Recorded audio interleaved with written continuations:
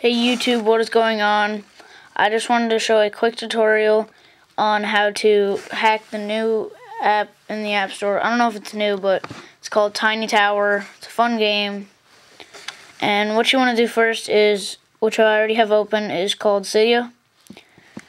Well, if you're, you probably know what it is, but you have to have a jailbroken iPod. I'm sorry, you have to. And what you want to do is go into sources and add this um, source. It is called Sinful iPhone Repo, if you can see it there. And once you're, if you once you get it, if you don't already haven't gotten it, you want to go to the i, and you can see I already have it. It is called IAP Cracker. You want to download that. And once you download that, you want to go into Tiny Tower.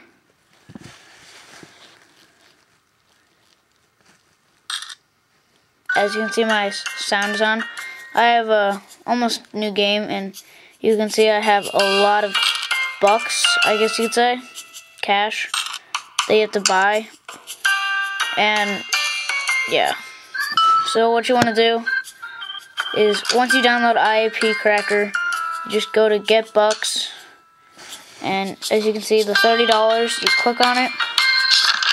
And you know it normally would ask you to ask for like your iTunes password your account name but I guess the IAP cracker does I guess hack it and you just get it. See and then you can just keep doing that. See all you need is internet to get it though see like all you gotta do you now have lots of cash. And then if you have a lot of cash you can go into bank. Wait wait.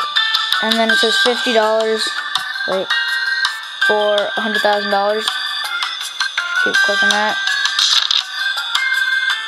And that's how you get your most money and thanks for watching. Please rate comment and subscribe